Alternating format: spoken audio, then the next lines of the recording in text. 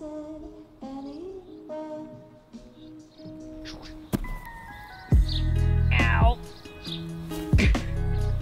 My legs! I forgot to mention that this video is about power-ups. I've done this about 20 times already and I'm tired, so this video is about power-ups. Right, so now it's time to add power-ups to my Infinite Runner. I think this is what's going to separate my game from other games in the genre, but let me show you how they're going to work. I drew up this amazing demo just to show you an example of what I'm talking about. Now, basically you'll have your main character, then a power-up icon would show up maybe every 20 seconds. Once they collect that icon, another icon will show up down the bottom, and that will be a random power-up. The user can stack these if they want to, or they can use them straight away. Uh, I'm basically giving it up to the user to decide when and where they use their power-ups. Once the user decides to use their power up, they can click on the icon down the bottom and then that'll activate their power up. I'm not sure yet if I'm going to allow the user to use more than one at a time. I guess it'll depend on what the power-ups end up being. That's something I'm looking forward to defining later on in this video. So now you know the basic idea behind how power-ups are going to work. I did a little brainstorm here, just quickly on what I think would make some good power-up. It can be anything from healing to gathering money. I had an idea to do a revival. Also teleport could be one. I do know that I want to base these power-ups in reality, so when I come to draw them, I'm sure I'll have more ideas around what they could be. So the first thing to do is get organized. I'm going to write up some tasks on what I think I'll need to complete the power-ups in the game. I might not get round to all of them today, but you know, I'm going to try and do as many as I can. I always like to do this before I start anything. I think planning is like one of the most important things when you take on a project like this. So I've written up a whole range of tasks from designing the logo to the little animation that plays once you collect it. And I think today we'll just go through them one by one and try and draw them all up. The first one I'm going to go ahead and create is the power up icon. This was my first attempt. Uh, it looks pretty good. I quite like the uh, shimmer effect on the gem, but I decided to scrap this idea. I think this sort of power up has been done before, so I decided to take it in a slightly different direction. I was kind of lost initially, so I decided to come up with another mood board for just the power ups.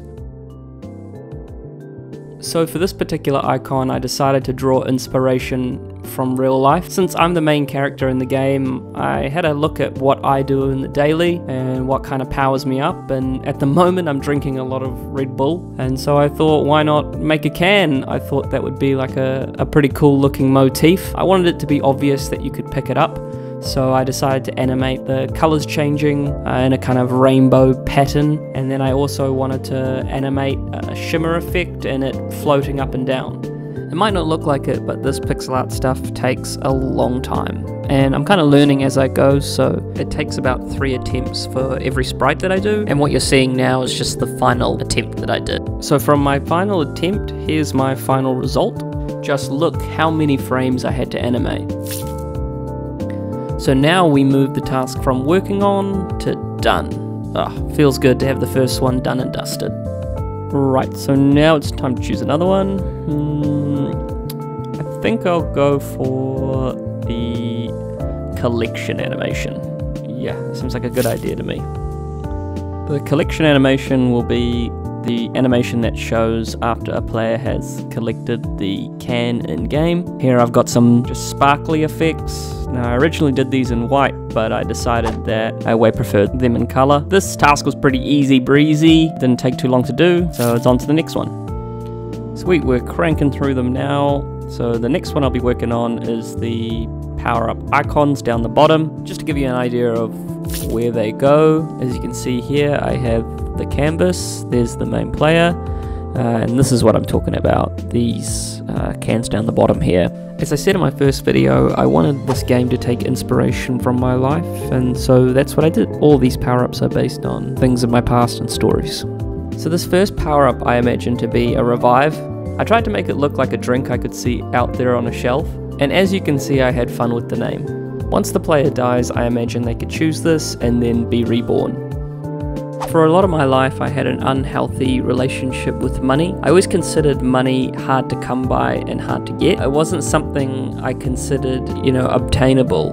I think this all spawned from my childhood. I used to watch my parents struggle with money a lot. I think that's what led to me having kind of an unhealthy relationship with money. And it was only till recently that I switched that mentality. I had to rewire my brain. I used to tell myself every day that money came easy to me. And as corny as that sounded, actually helped me in the long run. Maybe within a week after I started doing that, I noticed that uh, money was coming to me a lot easier, and I knew that, you know, the reason why I struggled with money in the past was because of these thoughts in my head, and that was something really powerful that I learnt about myself. At this point, you're probably asking yourself, so what's that got to do with this game? What I wanted to do is instead of people having to go through a metamorphosis of their self, they could just drink a power up and gain the ability to collect money faster.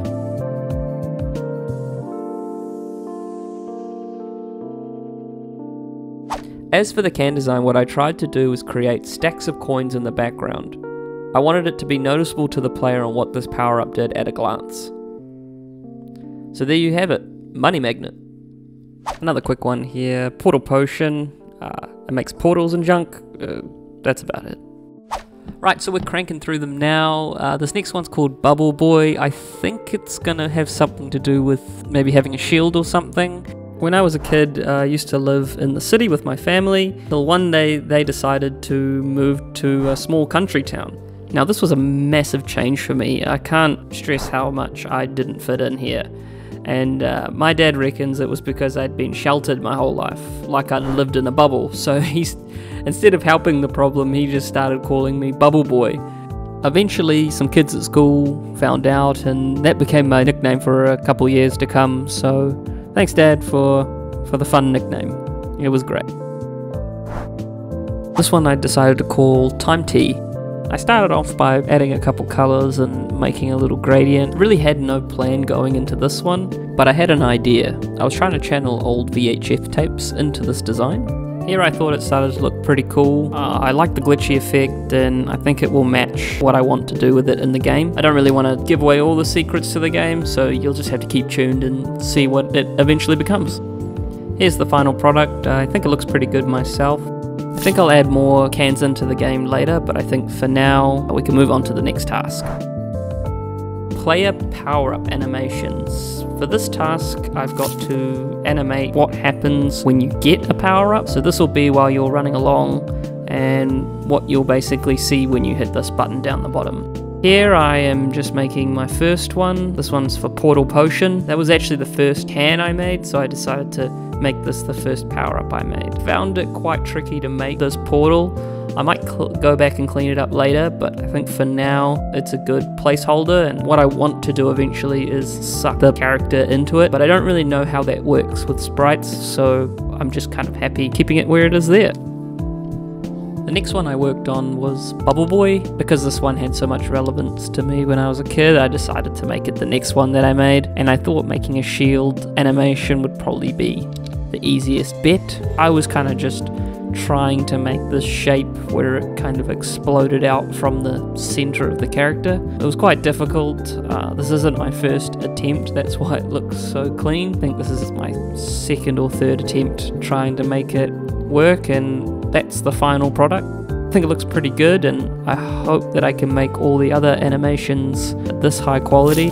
I think for now I'm finished with this task. I'll probably come back and do some more, but I think it's time to move on to activation animations. And this is what I have. I think you've seen me draw enough pixel art for one day, so here you go, the final animation. It might change a bit from now until when the game comes out, but I think as a starting point, this probably works pretty good. And that's the last task I'm going to do in this video.